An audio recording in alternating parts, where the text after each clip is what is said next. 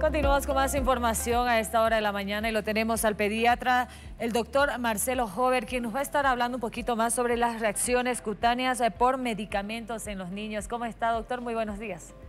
¿Cómo está, Gabriela? Muy buenos días y a todos los televidentes. Un saludo cordial para hablar de un tema que preocupa, preocupa a los pediatras. Así es, sin duda alguna, eh, un tema bastante preocupante siempre es el cuidado de los bebés, peor si son padres primerizos y no saben cómo tratar, no saben si es normal, si no es normal. ¿Cómo podemos nosotros identificar que algunos salpullidos, algunas eh, reacciones no es normal en la piel del bebé? Sí, imagínate que para algunos es difícil, para nosotros también puede ser un reto diagnóstico.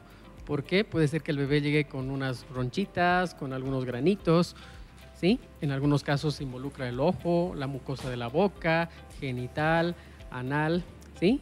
O, por ejemplo, bueno, la anterior semana tuvimos un, justo a cotación del tema, un paciente que me llegó con datos sistémicos de inflamación, o sea, llegó con latidos bajitos del corazón, presión bajándose, muy mal, no podía sostenerse, ¿sí?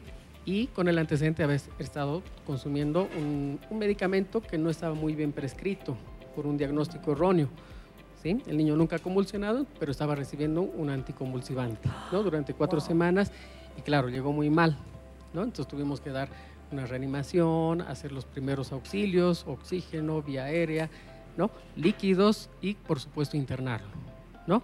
Hasta ver cómo reacciona, ¿no? Usar medicamentos antiinflamatorios eh, hasta llegar al, a un diagnóstico establecido y correcto, ¿no? Que hablábamos antes, por ejemplo, que estos medicamentos tienen esa peculiaridad que el niño está tomando cuatro semanas antes y recién ha generado una reacción retardada, se llama, ¿no?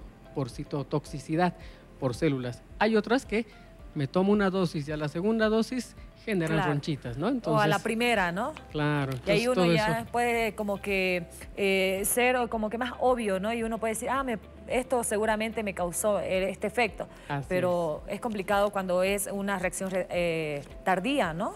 Correcto, ¿no? Es eh, mucho más desafiante el diagnóstico, pero eh, ya internando, viendo, reinterrogando, ¿no? Y que los papás nos muestren todos los medicamentos que tengan bien anotados es bien importante y que su pediatra siempre atienda a los bebés, porque en este caso sí fue un niño que fue atendido por un neurólogo de adultos, entonces recibió una medicación errónea eh, por el diagnóstico erróneo, ¿no? No tenía nunca convulsiones, entonces no tenía por qué recibir, ¿sí?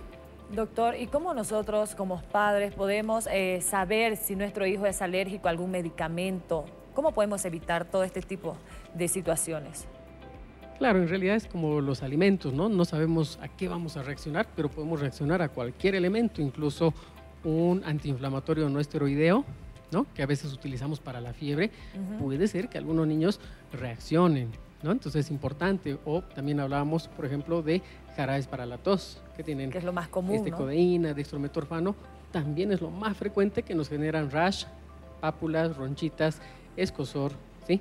Y que claro, en algunos casos puede llegar a ser mortal, ¿no? Por ejemplo, este, este niño tuvo involucro de la mucosa de la boquita, la carita, y bueno, afortunadamente se pudo detener. Si esto avanzaba, seguía tomando el, el niño una quinta semana, seguramente el desenlace hubiese sido diferente, ¿no? O sea, ya involucro, la piel se puede descamar como papel, ¿no? Entonces se maneja ese niño como un gran quemado, claro, lo que estamos viendo, ¿no? Pero eso se extiende ya un 90% y se tiene que manejar como un gran quemado en terapia intensiva, ¿no? A raíz de que, bueno, ha estado tomando una medicación, por eso siempre es importante tomar laboratorios antes de usar estos medicamentos y que lo vea un neurólogo pediatra, por ejemplo, en este caso, para ver si realmente requiere o no.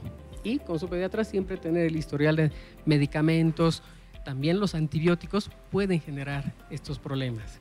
Claro, para que no se confunda con una alergia quizás a la prendita, porque muchas veces los padres pueden decir, ay, eh, está con, reacciones eh, cutáneas, puede ser que es alérgico a esta tela, le voy a poner algodón, sin embargo, siguen los días y continúan las ronchas por más que le haya cambiado de tela, por así decirlo, de la prenda. Por supuesto, además que desde que nace el bebé ya tenemos que estar identificando esa piel, si es seca, si la nariz es seca, si es muy reactiva su piel, entonces hay que cuidar desde que nace, ¿no? Mm. Este niño que vimos en la semana pasada y ayer recién lo dimos de alta de la clínica, tenía 11 años, ¿no? 11 años. Entonces la mamá, claro, me dice, no he ido al pediatra hace mucho tiempo, este, no le pongo cremita, pero evidentemente su piel tenía lesiones de cicatriz, tendencia a cicatriz queloide, ¿sí?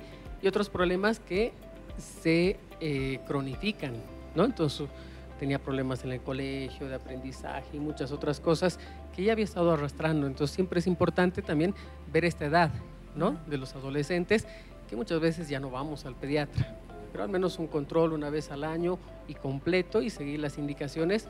Papá, el, el bebé no se va, su hijo no se va a acostumbrar a la crema, necesita.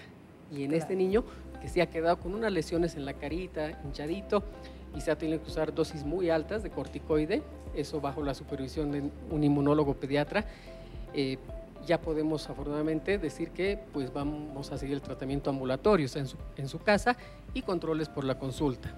Pero claro, ahora la mamá está muy sensibilizada y sabe que tiene que cuidar la piel con productos delicados, suavitos, ¿sí?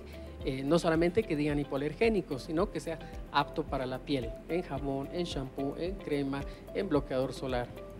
Doctor, ¿y hasta los cuántos años eh, se considera que debe ir un niño al pediatra? Hasta los 18 años vemos. Hasta los 18 años. Así es correcto, ¿no? Esta edad es menos frecuente, 14, 15, 16. Ahora sí hay mamás que sí las llevan, ¿no? Y podemos mejorar su calidad de vida porque de repente encontramos que la niña no le gusta hacer ejercicio porque tenía alguna hiperactividad bronquial, entonces tosía mucho, dormía con la boca abierta, ¿no? Y claro, damos alguna medicación o le recetan alguna medicación y generan ronchas, ¿no? Estas alergias, eh, reacciones que pueden ser mediadas por el sistema inmune, ¿no? Que tienen histamina, escuecen mucho y otras que no, involucran otro tipo de vías, pero puede ser tan variable como en este niño que pudo haber generado vasculitis, ha generado una inflamación tan, tan tremenda que parecía un, un choque anafiláctico. Claro, es bastante importante eh, saber eh, acudir al médico en el momento preciso, ¿no? No esperar que se agrave más la situación para recién acudir.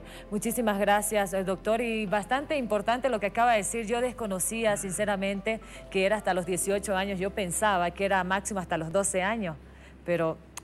Muchísimas gracias por la información. Todos los días se aprende. Por, favor, ¿qué ubicación? ¿Cómo podemos encontrarlo? ¿En redes sociales? Eh, estamos atendiendo eh, de momento en, Obrajes, en, la calle 6, en el edificio 6, piso 7, y pueden contactarnos al 775-85000 eh, para cualquier duda. Y siempre que tenga estos casos, avísenos, ¿no? Doctor, está malito, voy a, voy a ir, ¿no? Porque este niño, por ejemplo, nos sorprendido de que llegó bueno, a consulta normal, pero estaba muy, muy decaído. Tuve que hacer la reanimación en consultorio y acompañarlo a, a emergencias a internarlo. Perfecto, doctor. Muchísimas gracias. Que tenga un excelente inicio de jornada. De esta manera estamos hablando con el doctor Marcelo Hover, eh, pediatra, quien nos estaba hablando sobre las reacciones cutáneas a causa de los medicamentos. Continuamos con más de la primera.